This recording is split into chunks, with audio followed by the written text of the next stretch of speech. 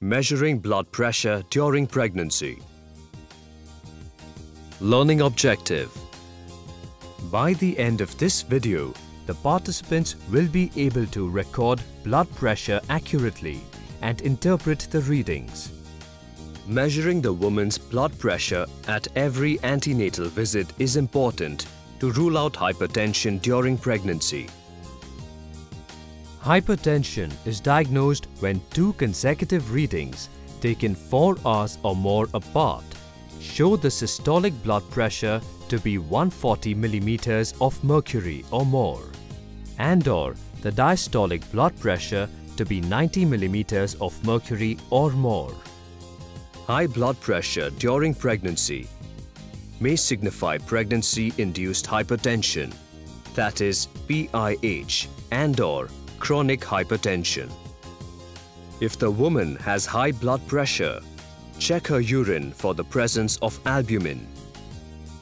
The presence of albumin, 1 plus or more together with high blood pressure, is sufficient to categorize her as having preeclampsia. If diastolic blood pressure of a woman is above 110 millimeters of mercury, it is a danger sign that points towards severe preeclampsia. The urine albumin should be estimated at the earliest and the woman should be referred to higher facility for further management as she is at risk of developing eclampsia. Woman with PIH, preeclampsia or imminent eclampsia requires hospitalization and supervised treatment at a 24 hours PHC or FRU.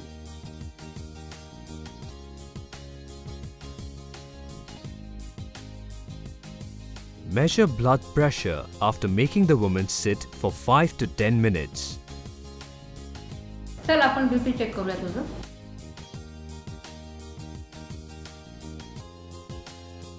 Equipment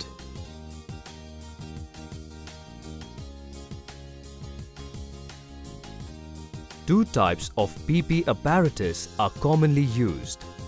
Mercurial sphygmomanometer and digital or automated.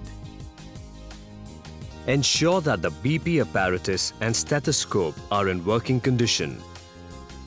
Stand on the right side of the pregnant woman for checking the blood pressure. Place the BP instrument on a flat surface, level with the woman's heart. Check that bulb is properly attached to the tubing.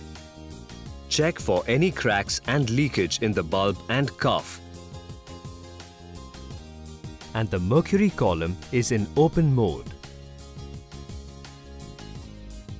Ensure that the pointer on the dial or scale is at zero.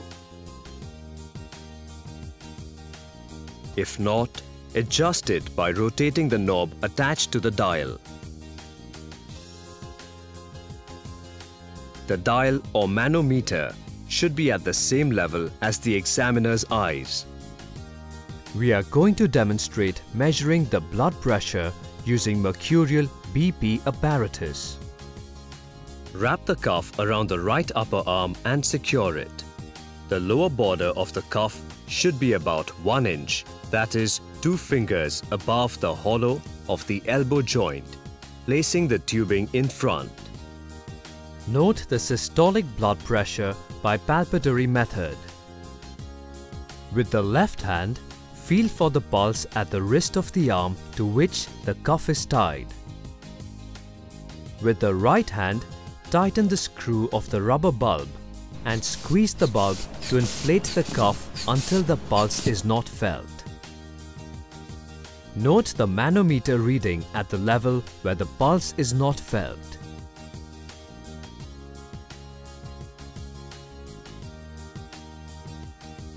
Increase the pressure by 30 millimeters of mercury above the level at which the pulse disappears. Deflate the cuff gradually till you feel the pulse again.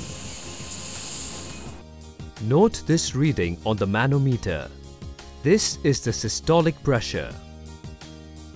Deflate the cuff by loosening the screw of the rubber bulb.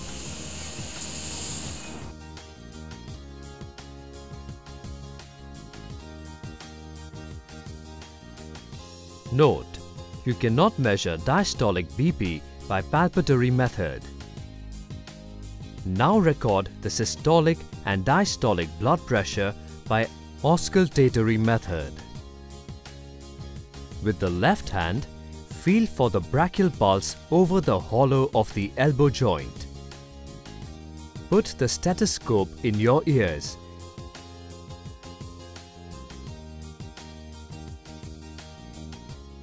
Diaphragm on the brachial pulse. With the right hand, inflate the cuff slowly till you do not hear any sound of brachial pulse. Inflate at least 30 mm of Hg higher above the level where the brachial pulse is no longer heard. Deflate the cuff very slowly and gradually. Listen with the stethoscope, keeping it on brachial artery at the elbow joint. Note the reading on the manometer where the sound is first heard. This is the systolic pressure. Keep deflating the cuff slowly. Follow the sound and note the reading where the sound disappears. This is diastolic BP. Deflate and remove the cuff. Close the mercury knob. Record the reading on MCP card and inform the findings to the woman. Also tell her, in next visit, do not forget to bring this card along.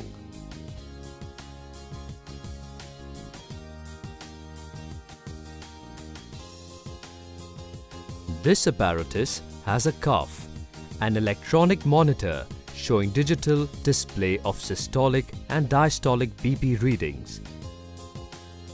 Start button. The cuff is attached to upper arm.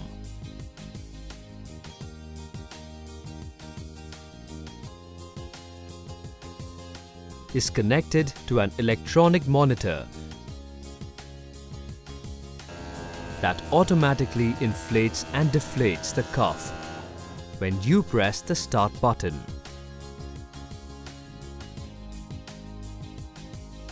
There is no need to listen with a stethoscope.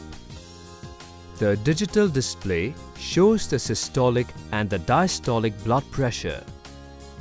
The woman should not move her arm during the procedure.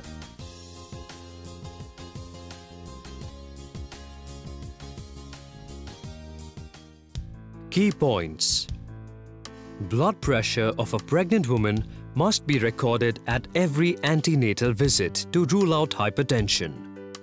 Blood pressure of 140 by 90 millimeters of mercury along with proteinuria is a sign of preeclampsia.